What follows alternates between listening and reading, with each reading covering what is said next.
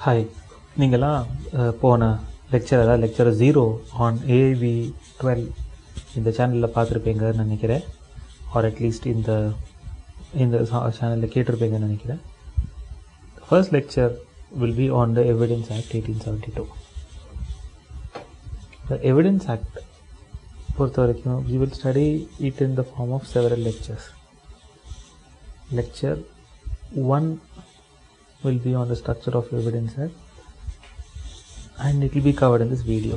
இந்த வீடியோவில் இப்போ நம்ம என்ன பண்ண போகிறோம்னா முதல்ல எவிடன்ஸ் லா ஏபியில் எவிடன்ஸ் லாவை பொறுத்த வரைக்கும் எப்படி என்ன மாதிரியான கொஸ்டின்ஸ் கேட்பாங்க அதுக்கு நீங்கள் என்ன பண்ணணும் அப்படிங்கிறத முதல்ல கவர் பண்ணுவோம். அடுத்தது எவிடன்ஸ் ஆக்ட் பற்றி ஒரு சில குறிப்புகள் சொல்லுவோம்.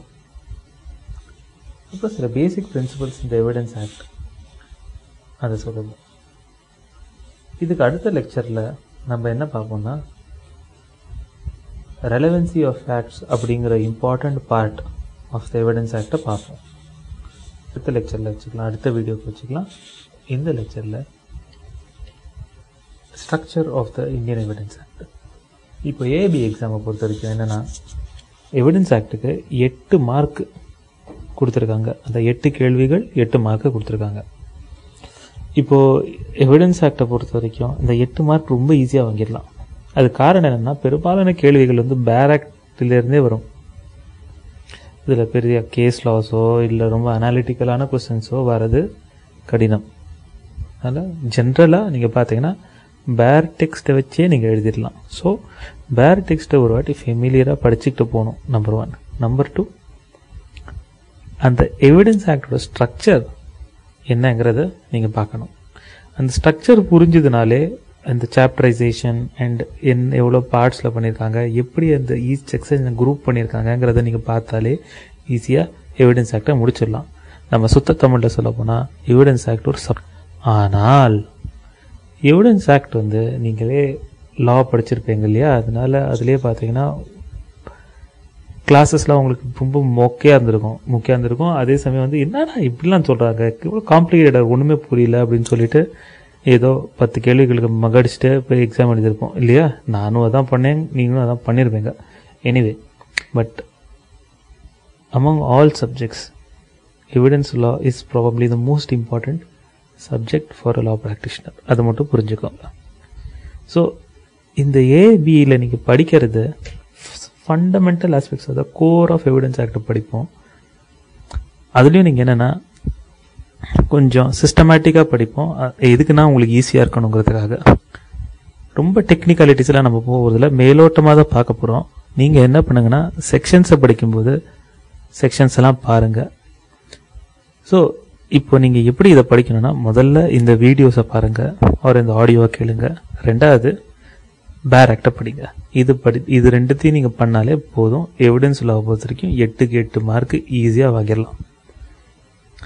இன்னொரு ஒரு இம்பார்ட்டண்ட்டான விஷயம் என்னன்னா எவிடன்ஸ் ஆக்ட் வந்து ரொம்ப பெரிய பேர் டெக்ஸ்ட் கிடையாது. நீங்கள் ரிலேட்டிவ்லி ஸ்மால் லெஜிஸ்லேஷன் தான். Around one sixty seven sections இருக்குது புக்கு ஈஸியாக நீங்கள் தூக்கிட்டு போகலாம் எக்ஸாம் ஹாலுக்கு ஒன்றும் எக்ஸ்பென்சிவும் கிடையாது. நீங்கள் இந்த புக்கு எவிடன்ஸ் ஆக்ட் புக்கு நீங்கள் பேர் டெக்ஸ்ட் வாங்கினீங்கன்னா த்ரூ அவுட் யுவர் கெரியர் நீங்கள் யூஸ் பண்ணலாம் அஃப்கோர்ஸ் அமெண்ட்மெண்ட்ஸ்லாம் அப்பப்போ வரும் பட் தட்ஸ் ஓகே பட் இது வந்து ஒன்றும் அவ்வளோ ஃப்ரீக்வெண்ட்டாக ஒன்றும் அமெண்ட் பண்ண லெஜிஸ்லேஷன் கிடையாது. பட் எனிவே நீங்கள் என்ன பண்ணணும்னா முக்கியமாக எவிடன்ஸ் ஆக்டோட ஸ்ட்ரக்சரை நீங்கள் பார்க்கணும்.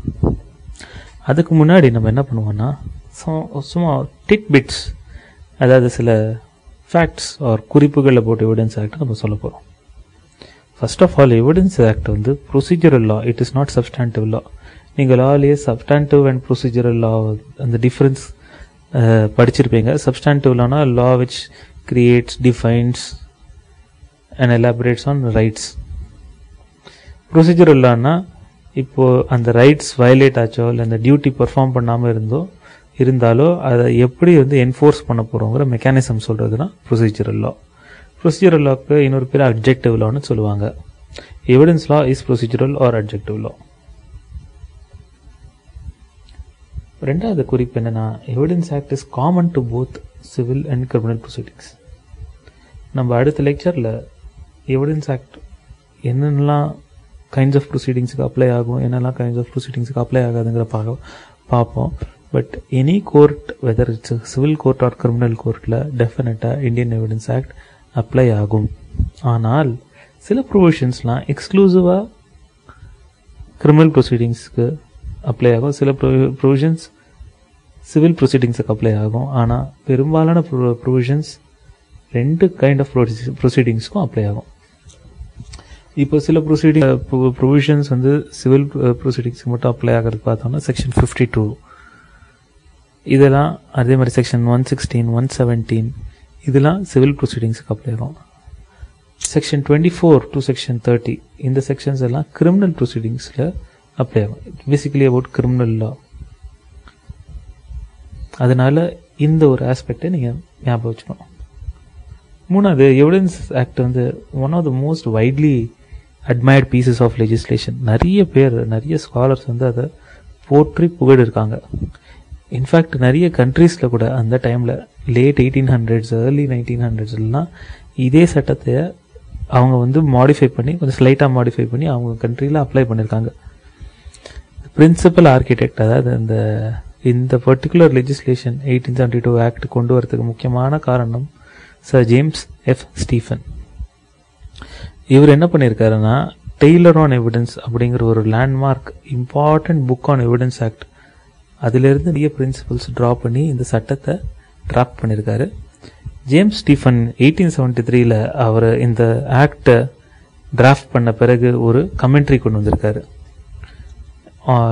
எவிடன்ஸ் எவிடன்ஸ் லா பற்றி இப்போது வர கமெண்ட்ரி எல்லாமே they are having the basis on James Stephens commentary in fact அந்த கமெண்ட்ரி நீங்கள் ஒரு வாட்டி அட்லீஸ்ட் இன்ட்ரடக்டிவ் சாப்டர்ஸ் படித்தாலே நமக்கு எவிடன்ஸ் ஆக்டை பற்றி ஃபுல்லாக கற்றுக்கலாம் எப்படி ஸ்ட்ரக்சராக இருக்குது என்ன என்ன இருக்குது என்ன இல்லை அப்படிங்கிறதெல்லாம் நம்ம கற்றுக்கலாம் அது வந்து for those are interested in research and all that அதை கொஞ்சம் பாருங்கள் கூகுளில் அவைலபிளாக இருக்குது நான் எவிடன்ஸ் ஆக்டை பொறுத்த வரைக்கும் மூணு fundamental rules or principles again நான் இப்போ தான் உங்களுக்கு ஜேம்ஸ் ஸ்டீஃபனோட கமெண்ட்ரி பற்றி ரெஃபர் பண்ணேன்.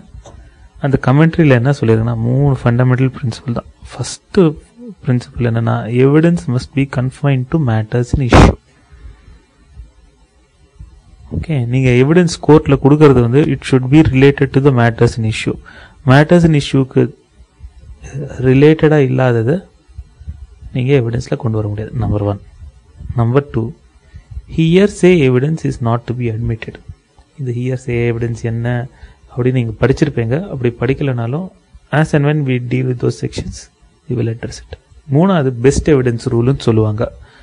In all cases the best evidence must be given நிறைய ப்ரொவிஷன்ஸ் எவிடன்ஸ் ஆக்டில் they are structured in such way that the best evidence ரூலில் தான் கொண்டு வர பார்க்கணும்.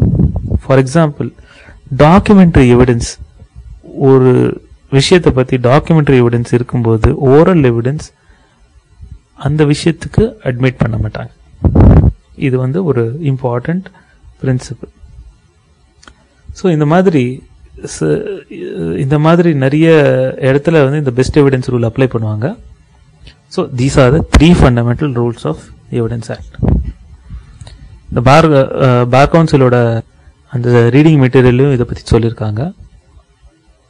அதனால் அது ஒரு வாட்டி பாருங்கள் நெக்ஸ்ட்டு எவிடன்ஸ் ஆக்டை நீங்கள் பார்த்தீங்கன்னா it is divided into three parts bare act எடுத்தீங்கன்னா part one part two part three அப்படின்னு உங்களுக்கு கண்டென்ட்ஸ் பேஜ்லேயே இருக்கும்.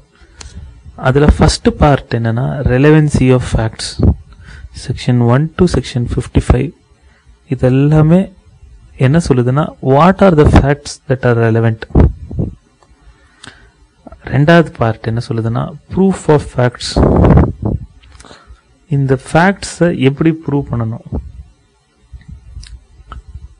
ஆர் இன் அதர் வேர்ட்ஸ் எந்த மாதிரியான ப்ரூஃப் இஸ் அக்செப்டபிள் எந்த மாதிரியான ப்ரூஃப் இஸ் நாட் அக்செப்டபிள் அப்படின்னு செக்ஷன் ஃபிஃப்டி சிக்ஸ் டு ஹண்ட்ரட்ல சொல்கிறாங்க அப்புறம் section one not one to one sixty செவனில் இந்த ப்ரூஃபை எப்படி கோர்ட்டில் ப்ரொடியூஸ் பண்ணணும்?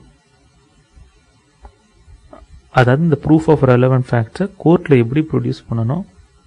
என்னெல்லாம் செய்யணும் அதுக்கு? அதெல்லாம் சொல்கிறது தான் பார்ட் த்ரீ ஸோ இந்த இந்த ஸ்ட்ரக்சரை நீங்கள் ஞாபகம் வச்சுக்கோங்க. This is the the structuring is the heart and soul of Indian evidence act so part ஒன்ல என்ன சொல்லுதுன்னா ரெலவென்சி ஆஃப் ஃபேக்ட்ஸில் ப்ரிலிமினரி ஆஸ்பெக்ட்ஸ் இந்த டெஃபினிஷன்ஸ் கிளாஸு டெரிட்டோரியல் அப்ளிகபிலிட்டி அதுக்கப்புறம் செக்ஷன் டூ வந்து ரிப்பீல் பண்ணியிருக்காங்க அதனால செக்ஷன் டூ படிக்க தேவையில்ல. செக்ஷன் ஒன் வந்து இந்த ப்ரிலிமினரி ஆஸ்பெக்ட்ஸ் பற்றி சொல்லுது. டெரிட்டோரியல் அப்ளிகபிலிட்டி என்ன ப்ரொவிஷன்ஸுக்கு அப்ளை பண்ணுவாங்க என்ன என்ன ப்ரொசீடிங்ஸ்க்கு அப்ளை பண்ண மாட்டாங்க அதெல்லாம் சொல்லுது. செக்ஷன் த்ரீ டெஃபினிஷன்ஸ் கிளாஸ் இதில் சில இம்பார்ட்டன்ட் டெஃபினிஷன்ஸ் இருக்குது section four deals with degrees of presumption இதுதான் ப்ரிலிமினரி ஆஸ்பெக்ட்ஸ் நெக்ஸ்ட்டு என்னெல்லாம் ஃபேக்ட்ஸ் ரெலவெண்ட் என்னெல்லாம் ஃபேக்ட்ஸ் நாட் ரெலவெண்ட் அப்படிங்கிறத sections five to fifty five சொல்லுது. பார்ட் டூ அதோட டைட்டில் என்ன ஆன் ப்ரூஃப் இதில் வந்து facts that need not be proved எந்த மாதிரியான ஃபேக்ட்ஸ் எல்லாம் கோர்ட்டில் ப்ரூவ் பண்ண தேவையில்லை. இப்போ நேற்று வந்து இடி இடிச்சுது நேற்று மழை பெஞ்சுது இந்த ஏரியாவில் அப்படிங்கிறது எல்லாருக்கும் தெரிஞ்ச விஷயம். அதனால் அந்த மாதிரியான சில ஃபேக்ட்லாம் ப்ரூவ் பண்ண தேவையில்லை அப்படின்னு சொல்கிறது தான் fifty six to fifty eight sections fifty nine to sixty வந்து ஓரல் எவிடன்ஸ் ஓரல் எவிடன்ஸ் பற்றி சொல்கிறது ஃபிஃப்டி நைன் டு சிக்ஸ்டி அடுத்தது documentary evidence sixty one to ninety A அடுத்தது exclusion of oral by documentary evidence ninety one to hundred so இந்த structuring நீங்கள் பார்த்தீங்கன்னா one proof இந்த part two எடுத்துக்கோங்களேன். முதல்ல வந்து என்னெல்லாம் ஃபேக்ட்ஸ் வந்து ப்ரூவ் பண்ண தேவையில்லை. ஓகே அடுத்தது வந்து என்னெல்லாம் ஃபேக்ட்ஸ் வந்து நீங்கள் ஓரல் எவிடன்ஸ் வச்சு ப்ரூவ் பண்ணலாம் என்னெல்லாம் ஃபேக்ட்ஸ் நீங்கள் டாக்குமெண்ட்ரி எவிடன்ஸ் வச்சு ப்ரூவ் பண்ணலாம். அப்புறம் டாக்குமெண்ட்ரி எவிடன்ஸ் இருந்ததுன்னா ஓரல் எவிடன்ஸ் எக்ஸ்க்ளூட் பண்ணப்படும். ஸோ இந்த அழகாக இந்த இந்த ஆர்டரில் வருது பாருங்கள் ஸோ அதனால் உங்களுக்கு ஈஸியாக இதெல்லாம் ஞாபகம் வச்சுக்கலாம். ஏன் இதை நீங்கள் ஞாபகம் வச்சுக்கணும்னா இப்போ திடீர்னு உங்களுக்கு ஓரல் எவிடன்ஸ் பற்றி ஏதாவது கேள்வி வந்ததுன்னா உங்களுக்கு முதல்ல என்ன ஸ்ட்ரைக் ஆகணும்னா பார்ட் டூவில் பார்க்கணும். அப்படின்னு உங்களுக்கு தெரியும். ஸோ உங்களுக்கு எக்ஸாமில் வந்து ஈஸியாக நீங்கள் ரெஃபர் பண்ணலாம். மூன்றரை மணி நேரத்தில் நூறு கொஸ்டின் கேட்கணும்னா அப்போ வந்து நீங்கள் டக்கு டக்கு டக்கு டக்கு டக்கு டக்குன்னு ரெஃபர் பண்ணுறதுக்கு ஈஸியாக இருக்கும். ஸோ அதுதான் அதுக்காக தான் இந்த ஸ்ட்ரக்சரிங்கை வந்து நம்ம டீட்டெயிலாக படிக்கிறோம். அடுத்த பார்ட் என்னென்னா production and effect of evidence so இந்த எவிடன்ஸ் வந்து எப்படி இப்போ ப்ரொடியூஸ் பண்ணோம்? யார் ப்ரொடியூஸ் பண்ணோம்? யார் ப்ரொடியூஸ் பண்ண வேண்டாம்? விட்னஸஸ் மூலமாக ப்ரொடியூஸ் பண்ணோம்? எப்படி இந்த விட்னஸஸ் எக்ஸாமின் பண்ணோம்? இதெல்லாம் பற்றி சொல்லுது.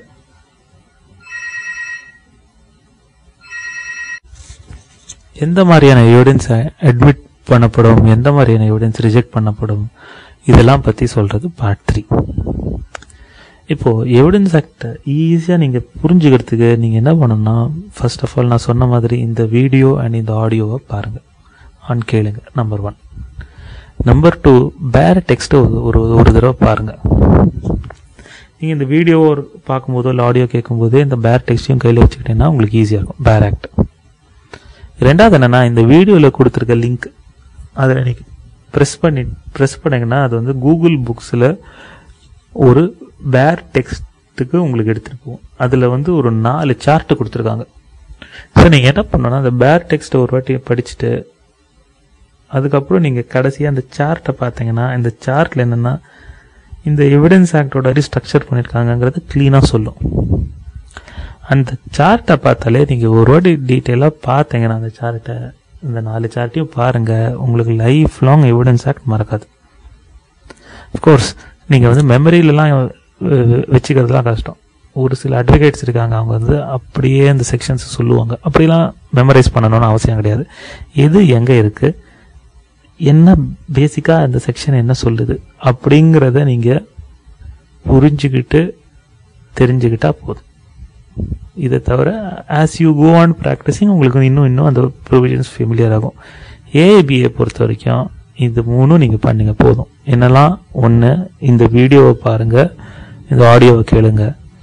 ரெண்டாவது நீங்கள் என்ன பண்ணணும்னா பேக் டெக்ஸ்ட்டை ஒரு வாட்டி படிங்க. ஒரு வாட்டி நல்லா படிங்க.